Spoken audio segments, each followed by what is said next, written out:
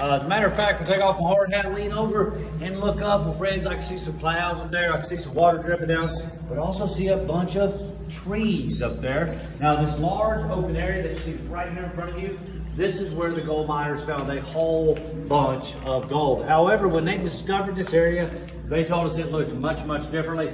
They told us that most of that was actually filled with white quartz rock. And in some places, the quartz there, it was over 20 feet wide. Now, all the gold that is in this mine is inside of quartz. So what they're to do here throughout the mine is take a whole bunch of dynamite and blast all that quartz out so they can get all of that gold out of it. They found so what? much gold from right here in front of you that in one day, they found 54 pounds of gold. Uh, that is 800 ounces of gold. Uh, today's gold bag is worth around $2 million, okay? And they found it one day right there in front of you, all right? So they found a whole bunch of gold hanging out right there. Um, I do want to take us further to mine, but we got to use steps, okay? Uh, if you want to hold on to the handrails, you're more than welcome to. Taller friends, uh, from here on in, uh, you've got to watch out for these rocks.